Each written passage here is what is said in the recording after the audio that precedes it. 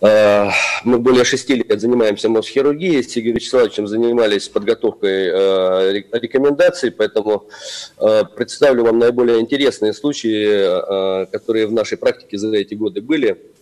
С вашего позволения я отключу сейчас видео, у меня не очень хорошая скорость интернета, для того, чтобы вы могли лучше рассмотреть те клинические случаи, которые будут вам представлены.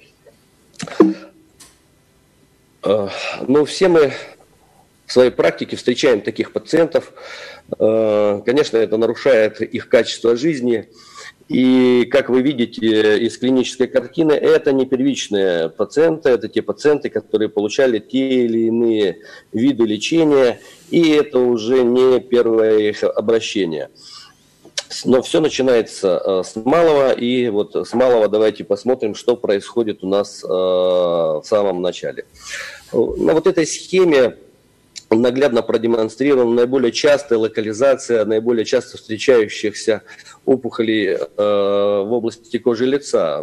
Слева базально-клеточная карцинома, справа плоскоклеточная карцинома. В общем-то, как вы видите, различие в частоте встречаемости не очень большое.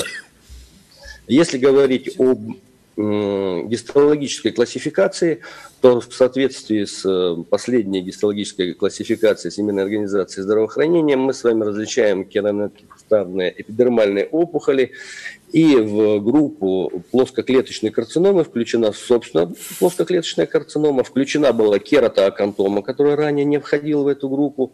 Различные варианты э, плоскоклеточной карциномы, такие как акантолитическая, веретиноклеточная, верикозная, аденосквамозная, светлоклеточная, другие формы, а также э, плоскоклеточная карцинома инситу, которую мы привыкли называть болезнью Бавена. Ну вот э, Григорий Владимирович рассказал о разных подходах, разных э, вариантах лечения. Э, чем отличается обычная хирургия от микрографической хирургии по МОЗ? Ну, приказалось бы, Э, широком отступе, когда мы отступаем от видимых границ больше, вероятность того, что мы удалим опухоль выше, но тем не менее статистика показывает, что при традиционной хирургии рецидивы наступают в 10-15%, а при микрографической хирургии, по данным мировой литературы, эти рецидивы при первичной опухоли составляют менее 1%, хотя, казалось бы, границы э, и отступ от них меньше. За счет чего это достигается? А, но при а, традиционной хирургической эксцизии, когда эллипсовидно иссякается образец, в последующем осуществляется а, приготовление препарата по методике Брэдлоу, то есть удаленный образец вертикально натекается, и морфолог уже оценивает срезы. Так вот, при такой технологии оценивается всего лишь 1% поверхности удаленной ткани. И даже если посмотреть на эти срезы и сказать, что в срезах опухоль находится в центре, а по краю нет, то между этими срезами есть опасность, что мы, мы можем иметь выросты опухолевых клеток, которые не попали в наше поле зрения, что, собственно говоря, и обуславливает в последующем рецидив или метастаз заболевания. Ну, вот такой вот э, схематический рисунок совсем недавно был опубликован э, Американской академией дерматологии, где наглядно продемонстрировано, что осуществляется эксцизия, осуществляется просмотр во время операции удаленного э, фрагмента определенным образом приготовленным, и э, это позволяет найти вот тот самый э, хвостик э, опухолевой прорастания опухоли для того, чтобы провести реэксизию непосредственно во время операции. Но в теории все это понятно, красиво выглядит, схематично. Что на самом деле? Мы с вами привыкли, что пациенты приносят нам результаты своих гистологических исследований. Это один, два, три стекла. Но вот посмотрите, какое количество стекол было приготовлено при операции у одного пациента. Вы видите четыре плашки. Но здесь, правда, было более четырех э, этапов последовательной эксцизии, поскольку границы были изначально плохо определяемы. Но вы можете себе оценить, какое количество срезов пришлось приготовить во время операции и просмотреть для того, чтобы э, быть уверенными, что опухоль была удалена полностью. В общем-то, возникает соблазн и э, на сегодняшний день, к сожалению, мы с этим сталкиваемся, что осуществляют удаление и осуществляют интраоперационный гистологический контроль.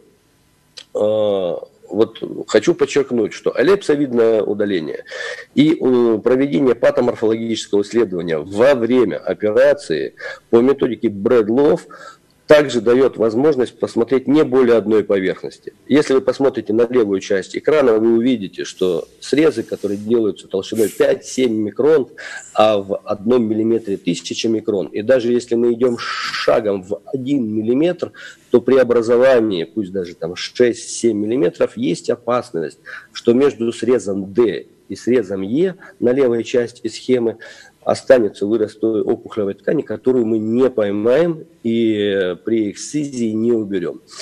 При технологии эксцизии по методике МОС эксцизия проводится под углом 45 градусов образец определенным образом препарируется, что позволяет его из трехмерной структуры превратить в двухмерную, приготовить достаточно большое количество срезов, увидеть абсолютно 100% поверхности удаленной ткани и таким образом непосредственно во время операции провести реэксцизию. Иногда таких сессий бывает 2, 3, иногда 4. Вот максимально мы делали, это было 8 сессий. Каждая сессия, ну, эксцизия это недолго, это 10 минут, а вот приготовление этих срезов э, патоморфологический этап занимает от 40 минут до 60 минут. Ну, то есть, когда это достаточно много приходится делать сессии, это по времени много занимает времени и такой достаточно трудоемкий процесс.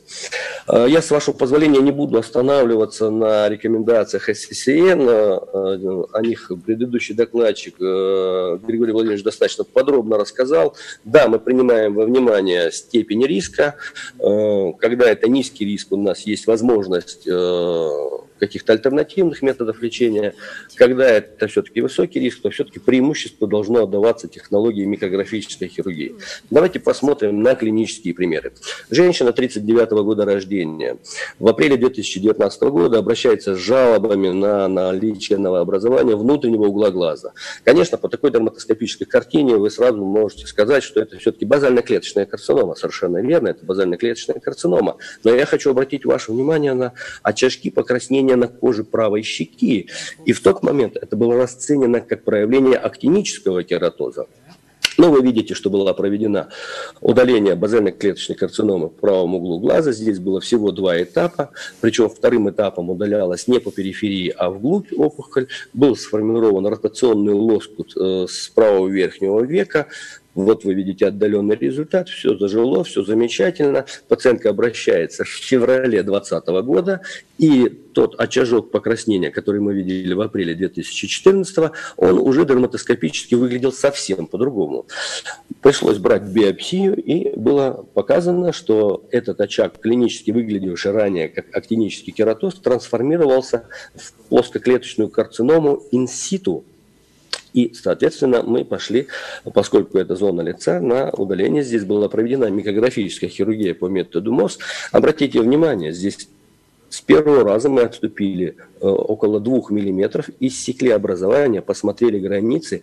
Из 13 часов до 19 часов в этой зоне было прорастание опухолевой ткани. Потребовался второй этап, он отмечен красной линией, для того, чтобы иссечь дополнительный участочек. Ну и ниже на коже щеки вы видите взята еще панч-биопсия из другого участка, где было получено ответ, что это актинический кератоз.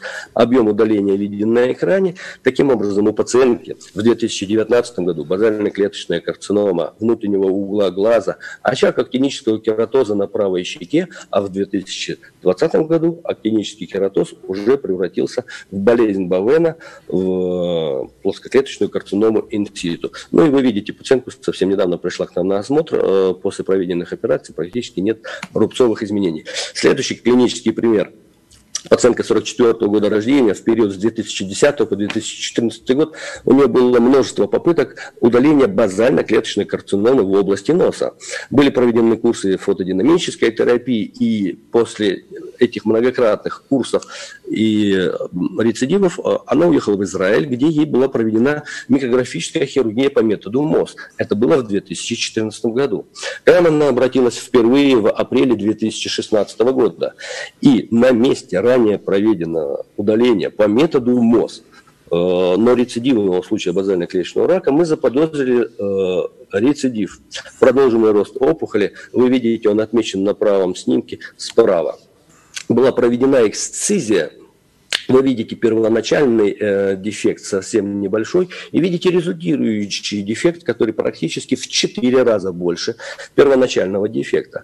Зачем я вам рассказываю про этот рецидивирующий случай базально-клеточной карциномы? Коллеги, обратите внимание на лоб пациентки. Это 2016 год. На лбу абсолютно никаких изменений мы не наблюдаем. Проходит какое-то время, пациентка находится под контролем, приходит э, в соответствии с графиком на осмотры. В марте 2010 года она обращается на очередной осмотр.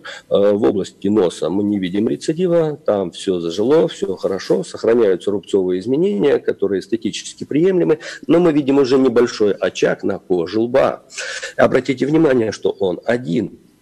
Размер его небольшой, всего лишь около 4-6 миллиметров. А, при инцизионной биопсии было подтверждено, что это плоскоклеточный высокодифференцированный рак. Мы пошли на удаление. А, была проведена эксцизионная биопсия с интраоперационным э, контролем границ резекции по методу МОС понадобился всего лишь один этап. Вы видите небольшой дефект, который получился после одного удаления. Обратите внимание, что больше никаких изменений кожи лба в марте месяце мы с вами не наблюдаем.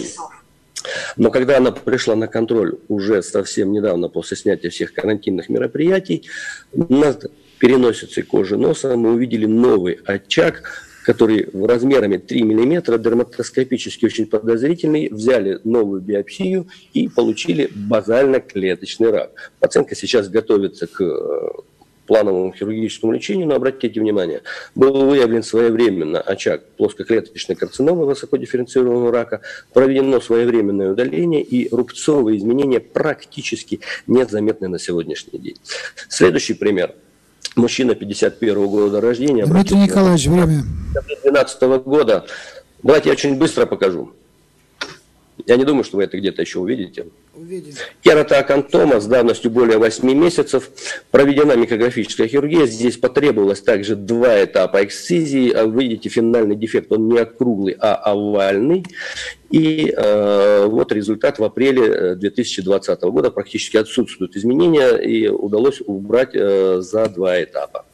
Мужчина 50 -го года рождения, плоскоклеточная карцинома нижней губы, хорошо видно дерматоскопически. Здесь было два этапа удаления. Э, проведено это было в декабре 2018 года этапы заживления, э, вид на сегодняшний день. Э, пациентка с э, новообразованием в области внутреннего угла правого глаза. Здесь очень длительный анамнез, который сам по себе очень интересен. Она обращалась в очень многие лечебные учреждения, брались со скобы, диагнозы варьировали от базально-клеточной карциномы, кератомы, вплоть до меланомы. После того, как она обратилась к нам, сняли корку, первоначально границы были определены незначительно. Обратите внимание, здесь потребовалось более четырех этапов эксцизии для того, чтобы убрать полностью зону поражения. В дальнейшем был выполнен ротационный лоскут с правого верхнего века. И вот э, вид пациентки на сегодняшний день. Если есть вопросы, готов буду ответить. Спасибо.